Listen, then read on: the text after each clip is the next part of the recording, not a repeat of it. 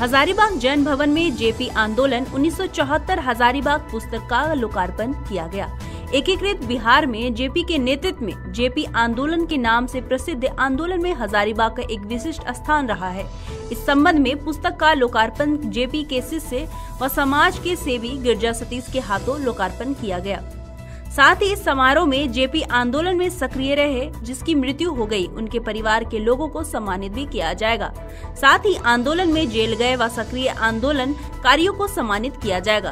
कार्यक्रम का आरंभ प्रातः साढ़े दस बजे से होगा। आंदोलनकारी साथियों से आग्रह है कि समय पर पहुँचने की अपील की गई है। ये जानकारी गौतम सागर राणा ने दी है। इस प्रेस वार्ता में मुख्य रूप से हरी श्रीवास्तव, राकेश रंजन, स्वरूप चंद्र जैन, अर्जुन यादव मिलवंत सिंह उपस्थित थे। हजारीबाग से सोनू केसरी की रिपोर्ट।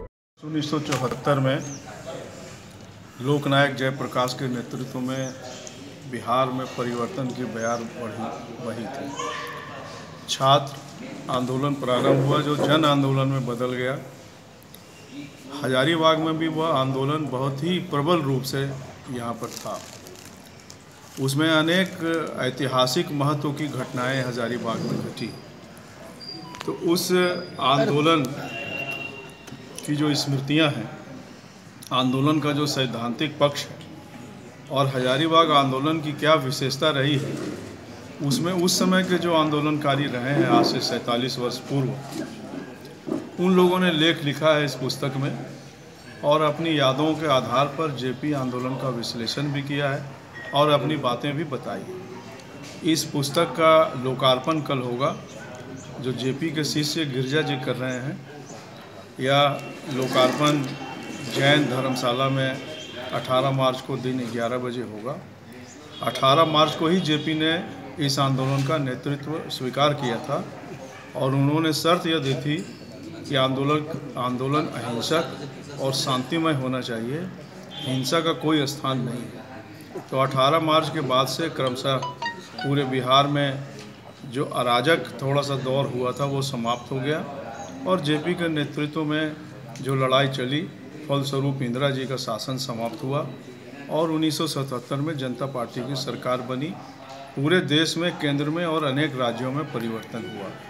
इन्हीं के बारे में उस पुस्तक में विवरण है। कई कई आंदोलन जो कर रहे थे उस समय आज दिवंगत को प्राप्त हो गए तो क्या कुछ हाँ? जो हमारे साथी दिवंगत हो गए चूँकि सैंतालीस वर्ष कोई छोटी अवधि नहीं है तो उनके जो परिवार के लोग हैं, उनको हम सम्मानित करेंगे, उनको मोमेंटो देंगे सर्टिफिकेट देंगे और पुस्तक देंगे। इसके अलावा भी जो जेपी आंदोलन के सक्रिय सदस्य बचे हुए हैं, जो जेल गए, जो प्रताड़ना सही, जो पुलिस के जुल्म सहे, उन लोगों को भी हम लोग सर्टिफिकेट देंगे। इसके लिए एक स्क्रीनिंग कमेटी बनी हुई है कि किन को सर्टिफिकेट देना है किन को नहीं देना है। तो ये काम कल होगा। लगभग कितने व्यक्ति आने वाले हैं? अभी हम लोगों ने सोचा है साठ उसके बाद और बढ़ेंगे तो फ़ंक्शन करके या उनके घर पहुँचा दिया जाएगा। क्या परिचय हुआ आपका?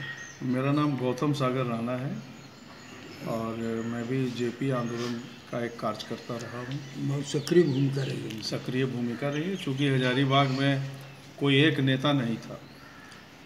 सारे सामूहिक नेतृत्व में लोग थे जिसका मैं एक अंग था।